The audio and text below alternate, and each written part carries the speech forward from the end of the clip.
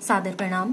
आपके अपने channel इन्फोनी corner में मैं नीरजा चौधरी, आप सभी का स्वागत एवं अभिनंदन करती हूँ। आज के वीडियो में जो हम टॉपिक लेकर आए हैं, मैं काफ़ी समय से हम ये सोच रहे थे कि इस टॉपिक पर वीडियो ज़रूर बनना चाहिए। तो खुद की दृष्टि से बहुत इम्पोर्टेंट लगा कि इस पर एक वीडियो ज़रूर होना चाहिए। तो इसलिए आज हम लेकर आए हैं जी आई टैग को। यानी कि भौगोलिक संकेतक टैग या इंग्लिश में कहें तो जियोग्राफिकल इंडिकेशंस टैग तो चर्चा किस लिए हो रही है? देखिए जानते ही हैं, भारत में अलग अलग वस्तुओं को जीआई टैग मिल रहा है। फ़िलहाल अभी जल्दी में क्या हुआ है? अप्रैल में ही ओडिशा की कंदमान हल्दी को जीआई टैग दिया गया है। आज के वीडियो में हम ये जानेंगे कि जीआई टैग क्या है, इनके क्या लाभ हैं, ये टैग किसे मिलता है, इस टैग से संबंधित चुनौतियाँ क्या हैं और भविष्य के लिए क्या कदम उठाए जाने की ज़रूरत है। तो जीआई टैग क्या है? भारतीय संसद ने 1999 में रजिस्ट्रेशन एंड प्रोटेक्शन एक्ट के तहत geographical indications of good goods लागू किया था।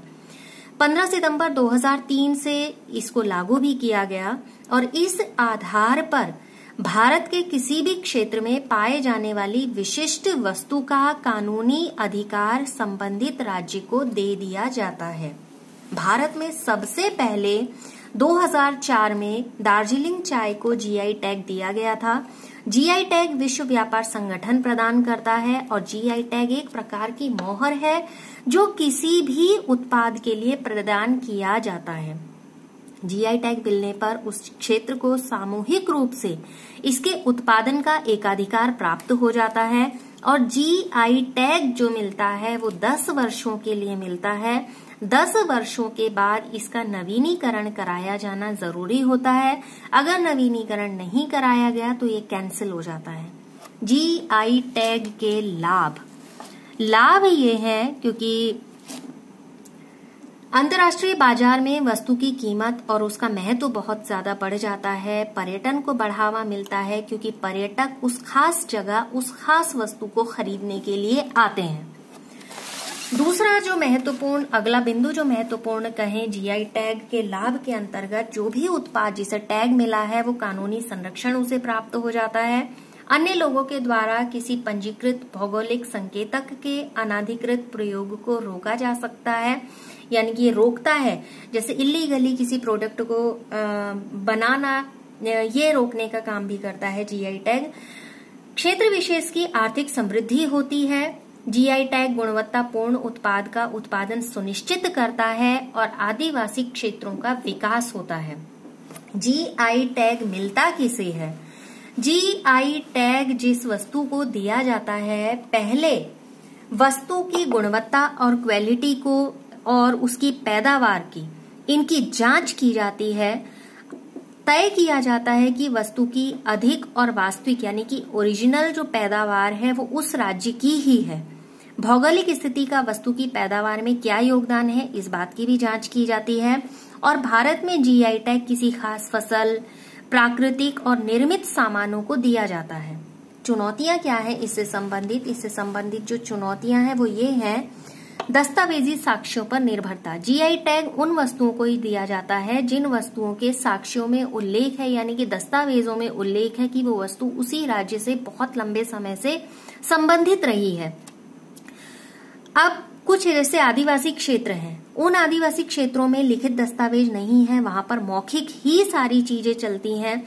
तो उन मौखिक के आधार पर आ, कई बार उस चीज़ को एक्सेप्ट नहीं किया जाता है। तो सबसे बड़ी चुनौती तो यही है कि वो दस्तावेजों का यानी कि उन साक्ष्यों का दस्तावेजों में दर्ज होना। दूसरा उत्पादों की सीमित सुरक्षा की बात है। यानी कि सपोज़ जैसे दार्जिलिंग टी की बात कर लें उसे माना जीआई टैग मिला है। लेकिन कोई अन्य व्यक्ति उसी क्वालिटी की चीज़ को किसी दूसरे नाम से बाज़ार में ला सकता है। तो उस उत्पाद की क्या हुई? सीमित सुरक्षा हुई। दार्जिलिंग चाय के नाम से तो नहीं बेच रहा है, लेकिन किसी अन्य नाम से वो बेच सकता है। नियमों को पूरे तरीके से स्पष्ट नहीं किया गया है। नियमों की स्पष्टता होना बहुत ज़्यादा ज़रूरी है, जिन्हें स्पष्ट करना सबसे बड़ी चुनौती है। पर्याप्त आकलन की कमी है।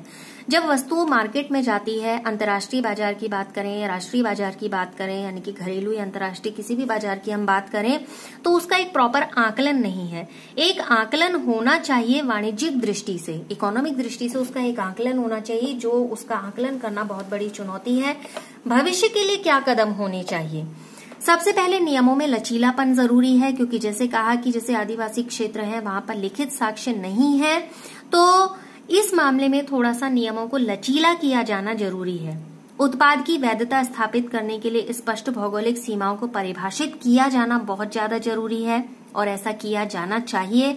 और सभी हितधारकों, जैसे कि उत्पादक है या डीलर है, इनके मध्य संचार का उचित माध्यम विकसित किया जाना बहुत ज़्यादा ज़रूरी है और ये सबसे बड़ी चुनौती है।